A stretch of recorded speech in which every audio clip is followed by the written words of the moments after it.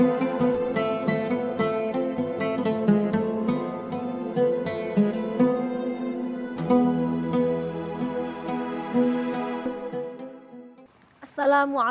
warahmatullahi wabarakatuh.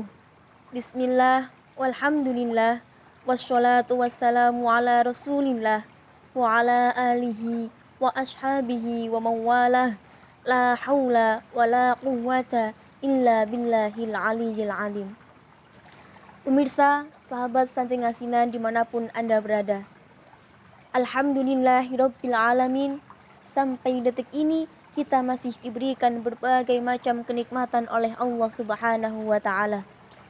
Nikmat iman, Islam, kesehatan dan juga tentunya waktu yang luang untuk dapat menyaksikan tayangan Kultum di episode pertama ini dengan judul puasa Ramadan.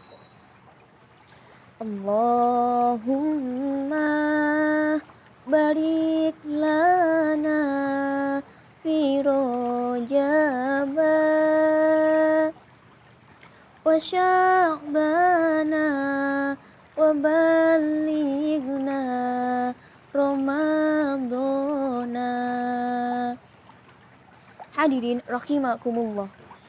Beberapa waktu yang lalu telinga kita sering sekali diperdengarkan dengan doa-doa di atas yang mana Doa tersebut merupakan harapan besar bagi seluruh umat Islam untuk diberikan keberkahan di bulan Rajab dan Sya'ban sehingga dapat dipertemukan dengan bulan suci yang agung, bulan penuh kemuliaan, yakni bulan Ramadan. Sebagaimana yang sudah kita fahami bersama, bahwa ketika bulan Ramadan tiba, ketika kita beribadah di dalamnya, maka Allah akan melipat gandakan segala pahala yang ibadah kita lakukan. Salah satu ibadah yang wajib kita lakukan ketika bulan suci Ramadan tiba adalah puasa Ramadan. Hal ini senada dengan firman Allah dalam Quran surah Al-Baqarah ayat 183.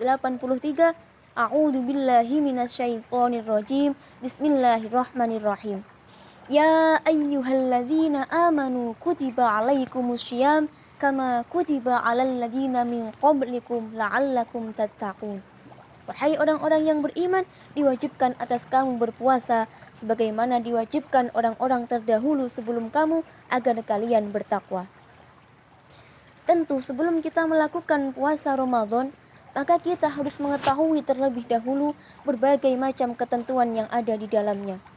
Sebagaimana halnya niat dan lain sebagainya. Niat puasa Ramadan adalah wajib hukumnya, terhitung dari tenggelamnya matahari sampai terbit fajar. Dengan lafal nawaitu sawma ghadin an adai fardhi syahri ramadhana hadhihi sanati fardholillahi ta'ala. Pemirsa, sahabat santri ngasinan di mana pun Anda berada. Menurut madhab syafi'iyah, niat puasa wajib dilakukan satu kali untuk satu kali puasa.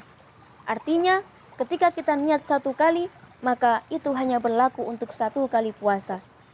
Sedangkan menurut madhab Malikiyah, kita diperbolehkan untuk melakukan niat puasa Ramadan cukup satu kali, yakni di malam pertama bulan Ramadan untuk menjamak satu bulan penuh puasa. Dengan lafal niat, lawaitu sawma jami'i syahri Ramadana hadhihi sanati taqlidan lil imami maliki fardhonillahi ta'ala. Sebagai bulan yang mulia, tentu ketika kita berpuasa di dalamnya, maka kita akan mendapatkan berbagai macam keutamaan. Di antaranya adalah dinaikannya derajat kita sebagai manusia, dilipat gandakannya pahala oleh Allah Subhanahu wa taala dan juga tentunya sebagai pengendali hawa nafsu dan juga syahwat kita sebagai manusia. Lantas timbullah pertanyaan, Bagaimana jika kita tidak bisa melakukan puasa Ramadan dan terpaksa meninggalkannya? Maka dalam kitab Safinatun Najah dijelaskan, ada kalanya kita wajib mengkodok puasa yang kita tinggalkan dan juga membayar fidyah apabila kita meninggalkan puasa Ramadan karena ada kekhawatiran terhadap selain diri kita. Ada kalanya juga kita hanya wajib mengkodok puasa tapi tanpa membayar fidyah yakni diperuntukkan bagi mereka yang sedang melakukan perjalanan jauh. Dan ada kalanya juga kita wajib membayar fidyah saja tanpa wajib mengkodok puasa, yakni bagi mereka yang sudah berusia tua dan renta. Bahkan ada kalanya tidak wajib membayar fidyah ataupun mengkodok puasa yang ditinggalkan, yakni jika mereka tidak bisa melakukan puasa karena kehilangan akal sehat atau gila. Hadirin rahimakumullah. Setelah kita mengetahui berbagai syarat dan ketentuan puasa Ramadan di atas, maka besar harapan kita semoga kita bisa melakukan puasa Ramadan kita dengan baik dan benar. Dan semoga kita termasuk orang-orang yang beruntung karena dapat memanfaatkan datangnya bulan suci Ramadan dengan sebaik-baiknya. Dan mari kita jadikan momentum bulan suci ini dengan upaya mendekatkan diri kepada Allah Subhanahu wa taala. Demikian yang dapat saya sampaikan, kurang lebihnya mohon maaf.